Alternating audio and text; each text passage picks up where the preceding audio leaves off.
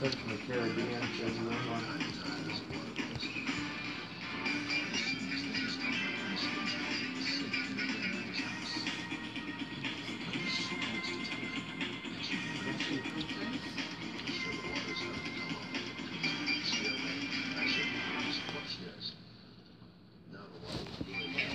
Mm.